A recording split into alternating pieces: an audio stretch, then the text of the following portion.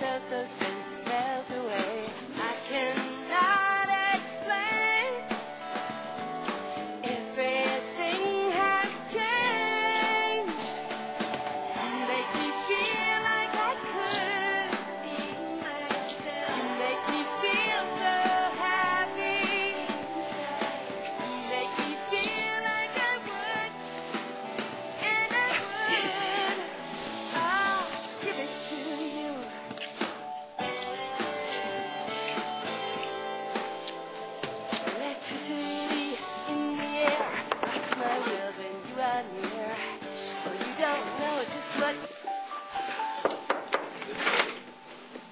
You in there?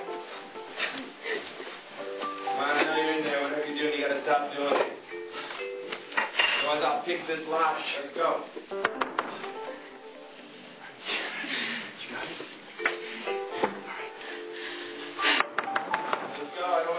security downstairs to get a key. Let's go. Okay. Lights, lights. You ready? Uh, Gus, uh, hey, why don't you come right in? Family's worried about you. Something burning? My family? Come on. Mm-hmm. Hey, you want to have this kind of uh, relationship? You want to argue every time we see each other? Well, that's not going to happen. Okay, now listen. Family's uh, a little crazier than usual. All right, and I'm uh, I'm I'm going to put a stop to it. Okay, I don't know what planet you just flew in from, but I'm fine, okay? Mm-hmm. Excuse me. For the first time in my life, I am fine.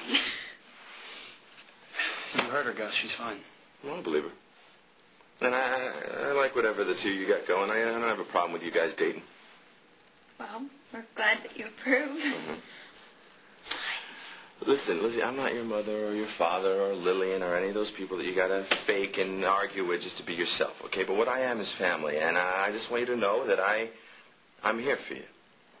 Did my mom set you up with this? No, I, She- no, your mother's got nothing to do with this. Look, I spoke to Rick Bauer. You're gonna get your own apartment. The garage apartment, it's yours, no strings. Okay? Mm-hmm.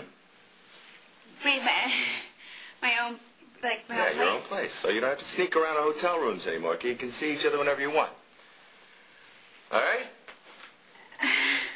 I, I don't know that I get this completely. Lizzie, I'm sorry to put it like this, but your father's gone. And your grandfather, well, he's just gone in the head. And somebody needs to look out for this family and be the man of the house, and that somebody's me. And I said what I had to say. You guys uh, get back to your monkey business. And uh, be safe.